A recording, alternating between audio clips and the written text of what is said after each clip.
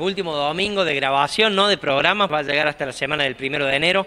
Realmente un año de muchísimo trabajo para Cultura Activa, pero muy contentos con haber cumplido el objetivo de brindar este espacio para que nuestros artistas locales puedan mostrar un poquito, por lo menos una partecita de su parte de vida, de cómo trabajan, cómo, cómo producen. En realidad los objetivos se cumplieron.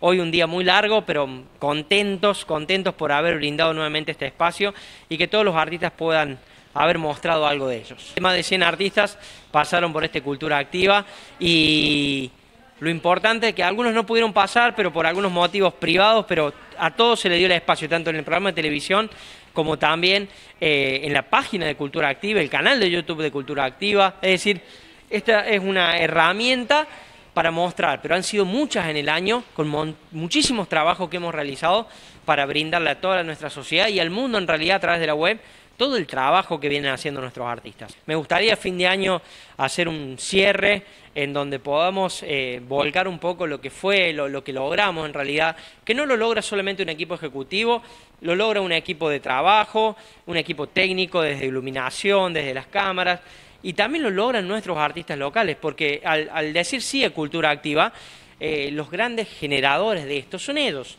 Eh, es muy importante el trabajo que han hecho nuestros artistas en un año en donde han sido muy afectados.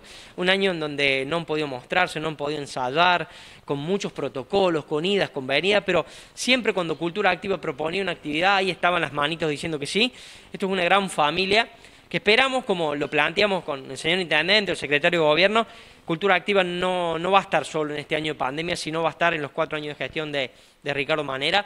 Y ojalá para los funcionarios que siguen después de nosotros mantengan esta valoración de, nuestra gente, de nuestros artistas, de nuestro ADN. Es muy importante que, que, la ciudad valore lo que tiene. Muchas veces hay un dicho que dice que nadie es profeta en su tierra. Creo que nosotros tenemos que dar la pulseada. Yo creo que sí, pueden ser profetas en su tierra porque depende de un municipio que los apoye, de una familia que los felicite en la calle. Realmente es un trabajo de todos y yo creo que lo vamos a conseguir.